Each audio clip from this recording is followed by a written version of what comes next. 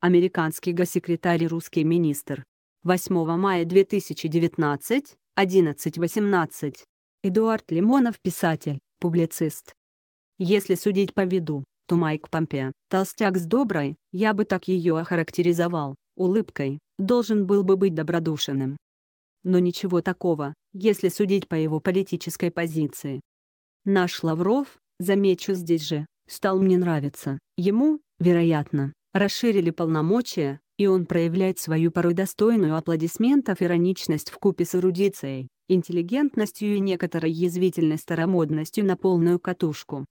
Вот они встретились в Хельсинки, Финляндия, 6 мая. Также по теме. В Кремле не исключили встречи Путина и Помпео в Сочи. Пресс-секретарь российского лидера Дмитрий Песков не исключил, что по итогам переговоров министра иностранных дел Сергея Лаврова и хотел бы предварительно объяснить вот что. Власть в Соединенных Штатах Америки устроена иначе, чем в России. Поэтому когда рассуждают «власть», то «власть», «все», то нужно конкретно понимать, о ком конкретно речь идет в каждом отдельном случае. В России, и это наша национальная традиция, также была устроена и советская власть, и власть Российской империи. Все ветви власти работают в унисон, консолидированно, представляя одну общегосударственную точку зрения. Но традиция политическая. Бывают традиции в питании, борщ там, котлеты, а бывают вот и в политике, и в характере власти. В России, значит, консолидировано, в то время как для властей США характерно распределение роли между ветвями. Характерный пример.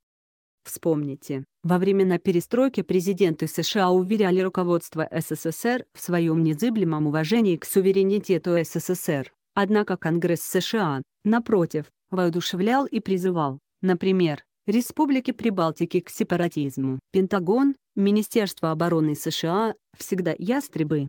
И призывают к войне, и пугают войной за свои интересы и за отстаивание национальных интересов силой оружия.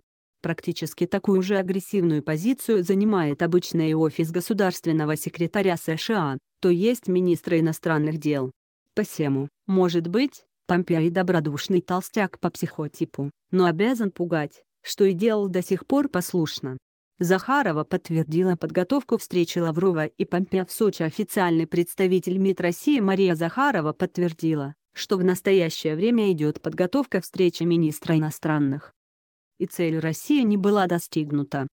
Ибо так велика неприязнь западного мира к России, что объяснение проходит мимо ушей западного мира. Так что зря Лавров слетал в Финляндию. Посему вот результаты встречи 6 мая в Хельсинки. Их нет, если не пользоваться дипломатическим языком, который намеренно все приукрашивает и скрывает различия. Помпео, у России и США определенно разные интересы. Дипломат старой школы, Лавров язвительно назвал состоявшуюся встречу в Хельсинки хорошей и конструктивной, подразумевая, что нужно было встретиться, чтобы в мире нас не обвиняли в том, что мы не встретились. Вот мы с вами встретились. Хорошо и конструктивно. Ничего не произошло? Произошло.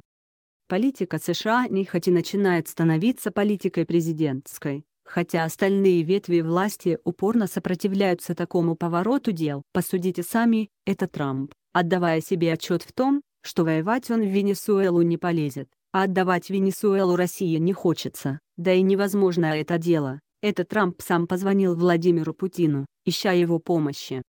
И заставил Помпео поехать в Хельсинки. А когда там ничего не получилось, Трамп долго кричал и топал ногами в направлении Помпео, предполагаю, заставляя Помпео вновь встречаться с Лавровым. Тре. Again. Пытаясь опять. Вот Помпео, делать нечего, придется встречаться с Лавровым опять. 14 мая в Сочи. Вы помните, как Конгресс тягался с Трампом из-за стены.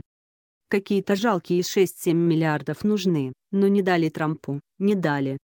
А здесь речь идет о более чем 35 миллионной стране, через неширокое море всего лишь от Соединенных Штатов расположенной.